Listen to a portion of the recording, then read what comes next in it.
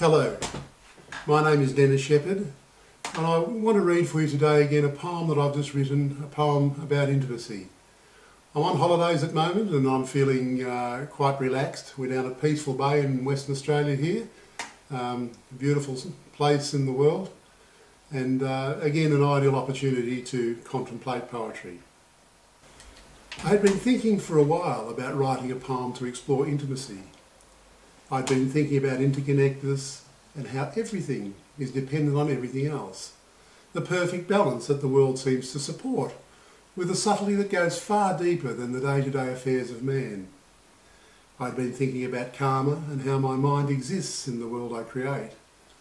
My thoughts then continued to notice how I create energies of desire and aversion and how I then cling to the conflict and trouble that I'm creating. I could start to see how this process goes on to unbalance my energy further, keeping me in continual turmoil.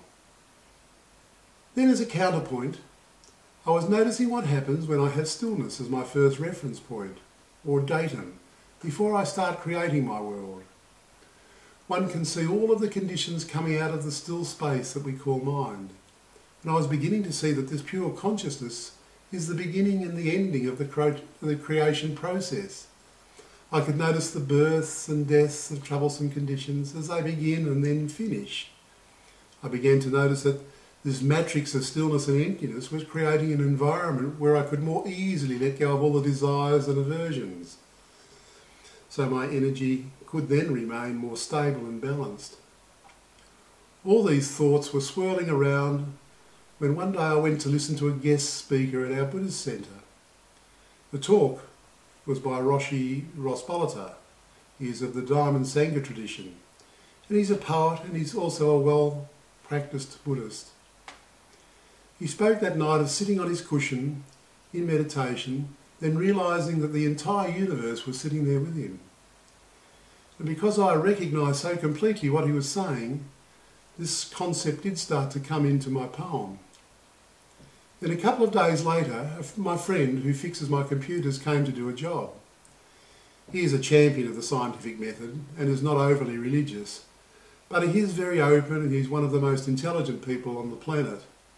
He was bitten by a venomous snake and the circumstances that followed meant he was not treated in a timely way. He nearly died. He ended up with some curious maladies which meant that he has not been able to work normally. But he has been left with the clarity to assemble enormous treatises on any subjects that interest him. And we often talk about physics and the latest in the quest for a grand unified theory of the universe. And this day he came, and just out of the blue he said, I cannot see why we need to have distance involved in the mass energy equation. I don't know how he got to that, but it was clear he was right on the boundary of relativity and quantum, and it fed right into my thoughts on this poem because I had been thinking about pure consciousness and what I call its fungible nature. The Buddha had said consciousness comes together like a string of pearls, but without the string. In the Buddha's texts, it, says, it is said that each pearl is called a kalapa, and it is said that kalapas come together and fall apart trillions of times in the wink of an eye. The Buddha is referring here to the, the nature of consciousness. We can also deduce here the fungibility or interchangeability of pure consciousness before it builds further into what the Buddha called the khandhas or, or aggregates. He saw that pure consciousness itself is the first of his five khandhas or aggregates. And I've given a talk at the Buddhist Society of Western Australia on fungible consciousness, and it is available as a YouTube broadcast. broadcast but it is available on my website here and also on the BSWA's website. As an aside, when the Buddha was asked about the beginning of the universe, he said that he had looked back over 24 kalpas and no beginning could be seen. A kalpa he, he defined as a universal cycle. A universe from beginning to its ending is a kalpa. And to give an idea of the length of a kalpa cycle, he said that if you get the finest gauze cloth from Benares and you drag the cloth over the highest mountain in the Himalayas, by the time that mountain would be worn to the ground is the approximate length of time for a kalpa.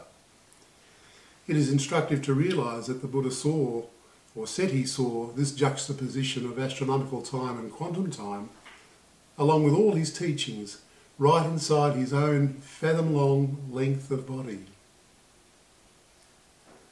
It was inevitable that my friend's insight about leaving distance and therefore time out of the mass energy equation would feed right into my poem on intimacy.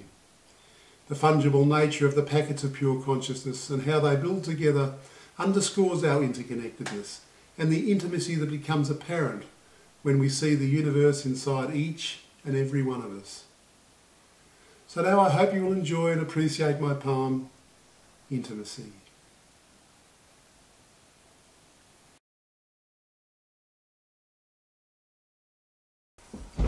The touch of my breath on the tip of my nose, and gratitude flows as pure consciousness grows.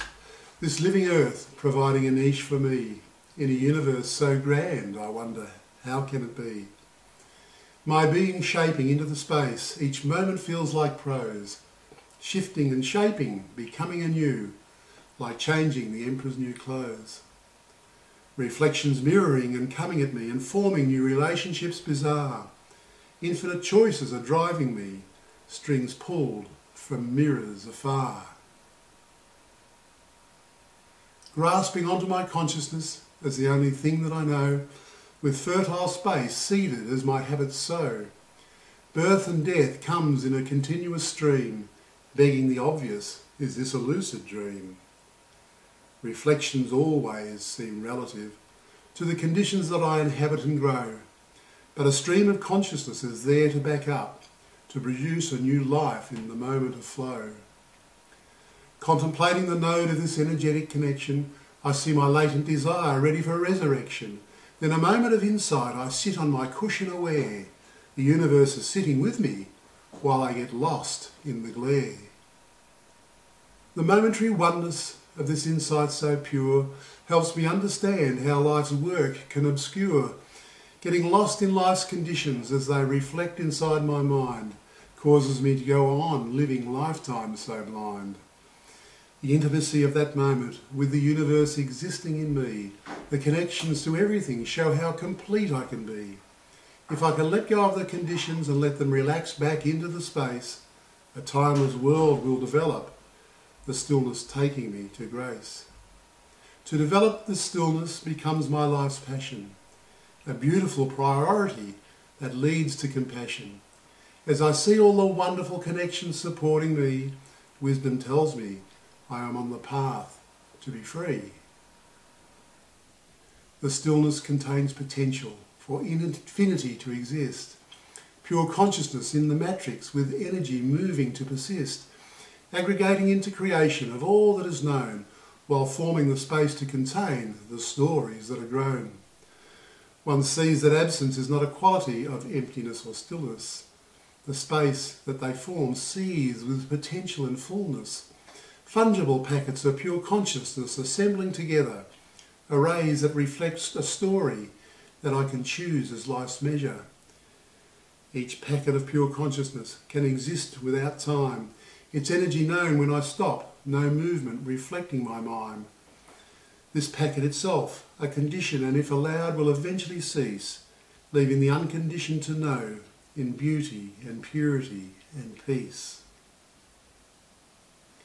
The paradox of this insightful moment, where knowledge is enlightened and complete, shows the intimacy that is always profoundly inherent, juxtaposed with the blind ignorance we see as creation so sweet.